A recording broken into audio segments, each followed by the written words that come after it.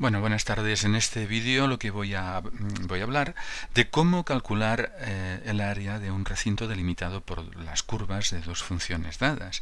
En este caso tenemos pues, una función f de x y una función g de x. ¿eh? aquí mm, esto es un, un, gráfico genérico. En principio las gráficas se pueden cruzar ¿eh? varios puntos, tal como estos y no importa el número de cruces. Eh, lo que hay que entender bien es que el área no es lo que nos da la integral definida.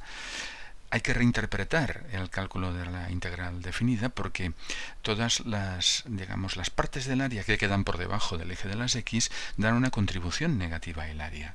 Pero por otra parte, el área geométrica eh, mm, la definimos positiva.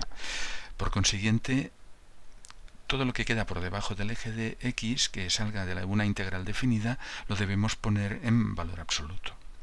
Tampoco importa mucho si en la diferencia, en, la diferencia de, los, de, las funciones en los integrandos establecemos la diferencia f menos g o g menos f, porque como luego eh, sacamos los valores absolutos del número que se obtiene de la integral definida, pues esto es de una forma u otra el mismo valor, el del área.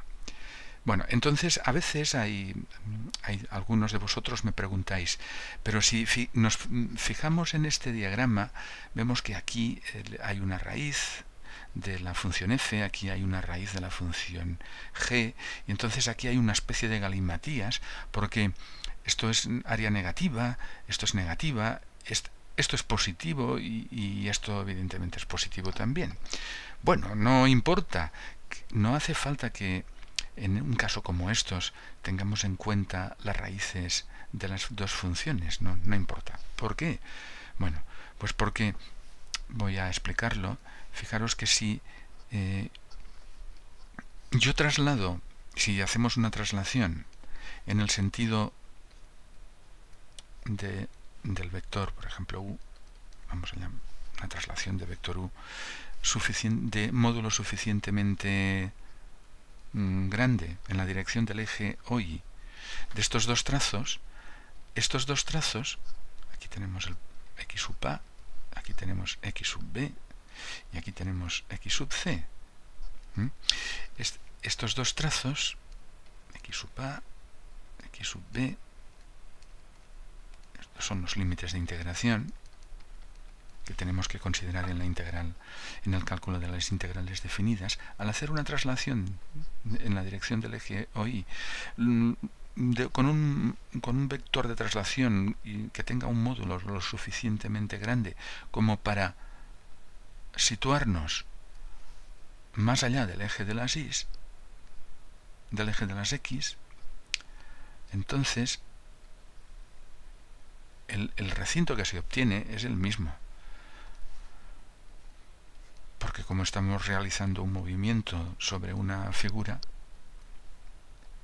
como este, esta especie de, de 8 que tenemos aquí, en este caso, aunque repito que esto no quita generalidad a cualquier otro problema parecido que tengamos. Otras veces se formarán otras figuras, naturalmente.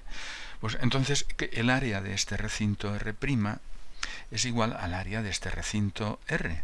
Es el mismo. Es exactamente el mismo, porque realizamos un movimiento, en particular una traslación. Es decir, el área de R es la misma que el área de R'. Por consiguiente, como las abscisas, los límites de integración son los mismos, mm, despreocupémonos de lo que sucede ahí, en esa zona. ¿eh? Bueno, he, preparado un ejemplo para que veáis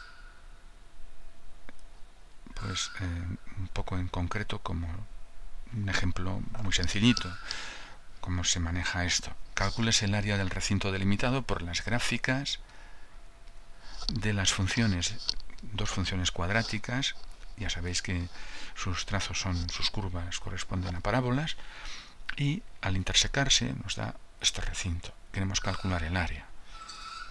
Entonces no nos debe preocupar, repito, lo que suceda aquí, por debajo del eje de las x, porque si, por ejemplo, trasladamos la función verde 5 unidades en el sentido del eje OX positivo y la función g, pues lo mismo, 5 unidades en la dirección del, del, eje, del semieje OX en el sentido positivo, el recinto que nos queda es el mismo, con lo cual eh, basta con calcular esta integral, donde los límites de integración son los mismos que los que podríamos calcular mm, calculando primero bueno, con el galimatías este que se podría montar aquí, dividiendo el área del recinto en dos áreas de contribución negativa, que luego haríamos positivas con el valor absoluto, y otras dos positivas, con lo cual tendríamos que calcular los puntos de corte con el eje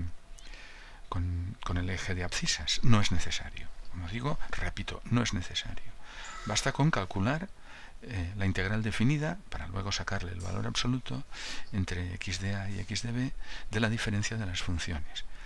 Tampoco es necesario que cuidemos el orden de la diferencia. f menos g daría lo mismo que g menos f, exactamente lo mismo.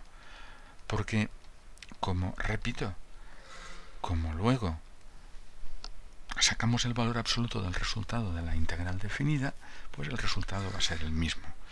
Es muy fácil buscar una primitiva de esta función que resulta de la diferencia de las dos funciones y hacer el haciendo el cálculo se puede comprobar que la integral definida nos da menos 2 partido por raíz de 6, menos 2 raíz de 6. Pero al sacar el valor absoluto, pues obtenemos el valor positivo que nos da el área del recinto, que es dos veces la raíz de 6, unidades de área arbitrarias. Se refiere a, las unidades de longitud del gráfico elevadas al cuadrado. Bueno, espero que lo hayáis, hayáis entendido este, esta duda que muchos me preguntáis, que qué pasa ahí abajo, que cómo, qué hacemos ahí para calcular el área a partir de la integral definida y ya veis que no, no hay que no hay que complicarnos la existencia y simplemente hay que calcular los puntos de corte de las dos curvas, eso sí, naturalmente, las abscisas, y esas son, esos son los límites de integración. Aquí se forma un solo, digamos, un solo, un solo lóbulo, por decirlo de alguna manera, pero en general ya os he dicho que se pueden formar varios. Bueno, pues entonces hay que calcular, como cuando se forman dos, eh, encontraremos tres puntos de intersección, pues pasamos de x a xb y luego de xb a xc e integramos en dos trozos o en el número de trozos que, que proceda.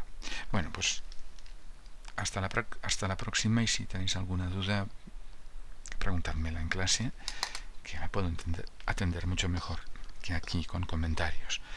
Hasta la próxima.